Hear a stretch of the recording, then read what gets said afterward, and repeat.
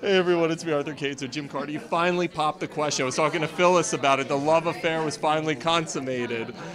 took us took us five years to get around to it. My God, we're slow moving. Talk about a long-term yeah, relationship. it, it's no different now in England. That's that's how we work. Yeah, uh, but uh, hopefully we'll be happy.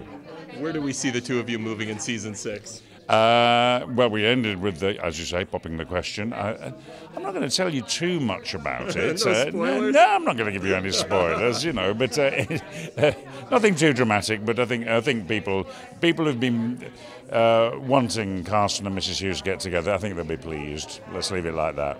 People have become so attached to your characters. Does it blow your mind that the show that Julian and Graham have put together have touched so many millions of people?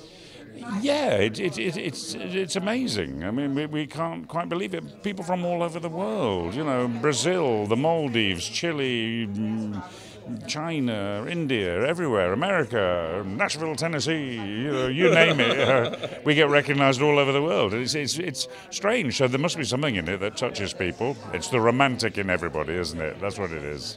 I was talking to Phyllis about you becoming her work husband. Has she become your work wife? Oh no, I haven't. Oh no, no, I've got a very, very jealous spouse at home.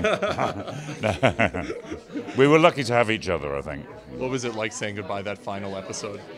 Well, I thought it, uh, it would be, you know, the normal rhythm of our lives. We do a job, we, you know, we make friends, we move on. So I thought, well, you know, this has been a longer job, but it's just the same as anything else. But then, lo and behold, I found it very moving, actually. Not just saying goodbye to the the, the, the actors, but the crew as well. A lot of them have been with us all the time, so and worked so um, much harder than us. Uh, so saying goodbye to them was uh, quite emotional. Yeah.